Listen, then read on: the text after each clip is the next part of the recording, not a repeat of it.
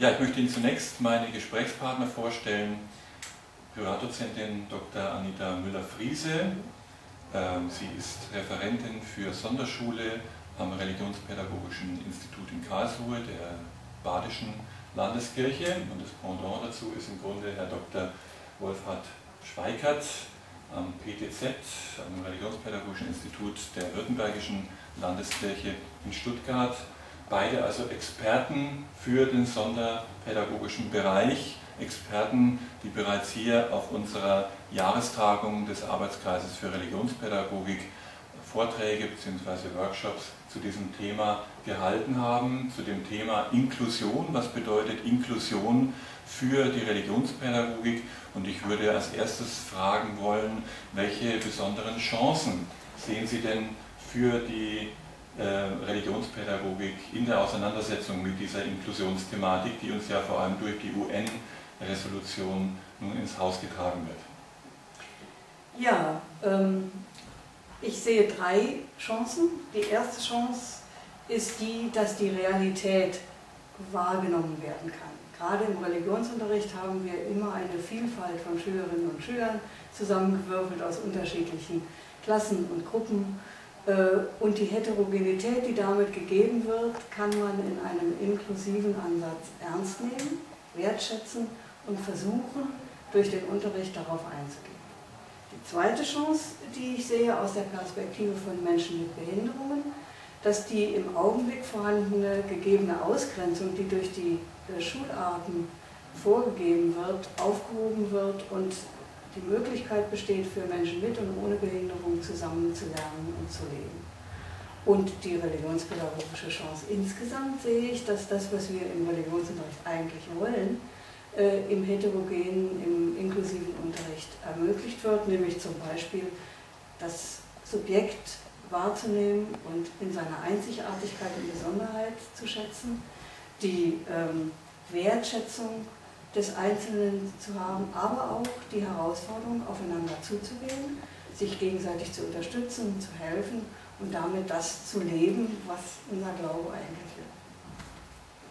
Nun ist auf unserer Tagung ja auch immer wieder kritisch angemerkt worden, dass Inklusion wirklich auch eine Herausforderung darstellt, die auch Überforderung implizieren kann, für viele ähm, Ängste auslöst, können wir das eigentlich alles schaffen?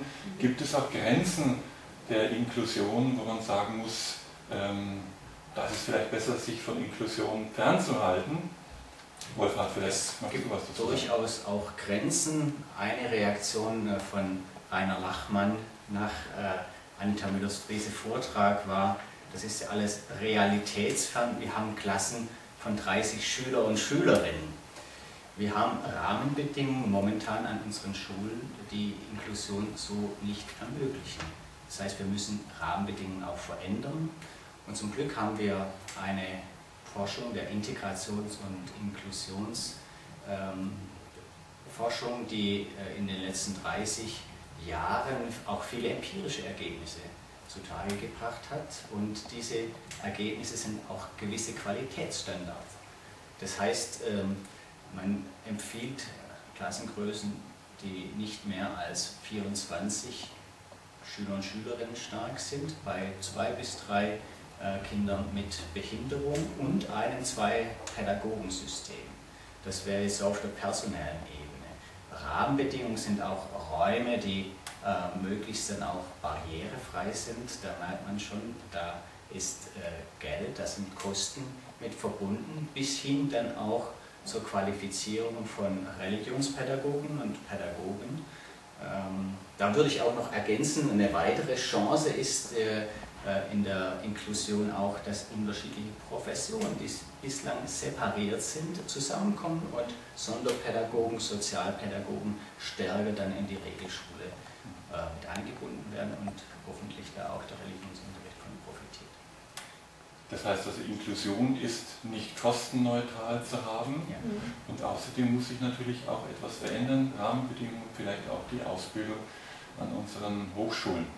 Mich würde noch, ja, bitte. Zu der Kostenneutralität, es gibt Forschungen, die sagen, es ist nicht zum Nulltarif, aber es ist nicht so teuer, wie manche denken. Mhm. Es ist also nicht, also, weil man ja auch was einspart. Es kostet nicht nur mehr, sondern man spart auch bestimmte Sachen ein. Und ich würde ergänzen, eine wichtige Herausforderung ist auch noch die entsprechende Pädagogik und die entsprechenden Unterrichtsmaterialien. Mhm. Zur Kostenneutralität noch. Es ist, es ist durchaus so, dass äh, das, wenn man nicht ein doppeltes System fährt, hier Sonderschulsystem und Integration, sondern es ein System ist, dann ist es kostenneutral, aber der Umbau kostet natürlich immens mhm. Geld. Und wenn äh, Politiker das äh, wollen, nein, sie müssen es, dann müssen sie auch Geld in die Hand nehmen. Mhm. Vielleicht zum Schluss noch eine Frage, ähm, die nun spezifischer auf den Religionsunterricht zielt. Können wir von Inklusion reden und Inklusion wollen und gleichzeitig weiter einen konfessionellen Religionsunterricht propagieren? Konzept äh, der inklusiven Pädagogik oder der Pädagogik der Vielfalt aus, äh, da wird deutlich, dass wir eigentlich gemeinsam lernen. Was wir im Religionsunterricht tun, ist die gemeinsame Lerngruppe, die Klasse aufzuteilen in Konfession, Religion, Anschauung. Evangelisch-katholischer Religionsunterricht, islamischer Unterricht, Ethikunterricht. Und daher gibt es da eine klare Differenz. Um gemeinsam zu lernen, wäre auch nötig, dass Schüler im Religionsunterricht auch Zeiten haben, in denen sie sich mit anderen Konfessionen, mit anderen Religionen, mit Schülern anderer Weltanschauung auseinandersetzen. Aus meiner Sicht wäre es wichtig, in Richtung des selbstständigen Fächerverbunds weiter, also der selbstständigen Fächergruppe weiterzudenken, die die EKD in ihrer Denkschrift 1994 ins Gespräch gebracht hat.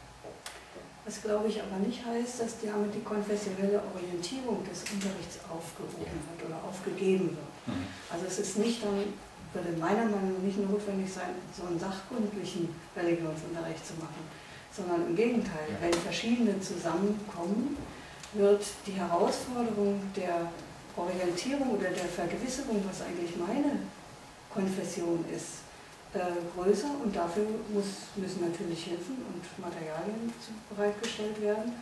Aber es kann zu einer größeren Beheimatung führen, wenn ich anderen erklären muss, was es denn bedeutet, dass ich evangelisch bin.